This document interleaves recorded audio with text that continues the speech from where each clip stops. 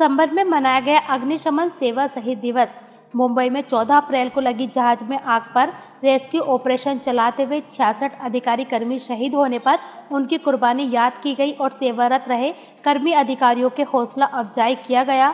UP के संबल की चंदोसी में आज अग्निशमन विभाग की ओर से 14 अप्रैल सेवा शहीद दिवस के रूप में प्रतिवर्ष की भांति इस वर्ष भी कार्यक्रम का भव्य आयोजन किया गया।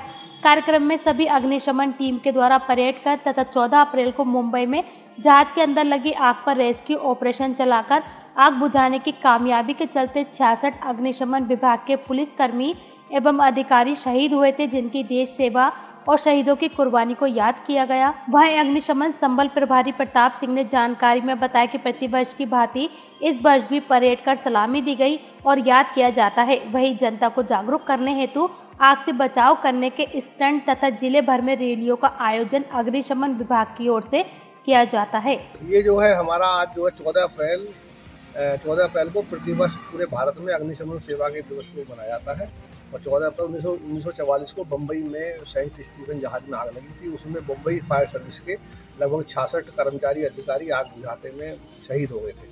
तो उसी के उसी के परिप्रेक्ष्य में पूरे पूरे भारत में ये दिवस मनाया जाता है और आज से लेकर 20 अप्रैल तक अग्निशमन सेवा सप्ताह का रूप मनाया जाता है। तो उसी के कड़ी में हमने सुबह ही सुबह जो हमारे शहीद कर्मी हुए हैं पूरे हिंदुस्तान में, उनको हमने श्रद्धांजलि दी है। दोपहर बाद जो है हम शहर में चंदोसी, संभल, गुन्नौर भैजरी वगैरह में फायर रैली निकालेंगे, लोगों को जागरूक करेंगे। जो जो आग से बचने के उपाय हैं, वो हमने किए, जो पर्चे हैं जो पैम्पलेट्स वगैरह हैं, उनको लोगों में बांटेंगे।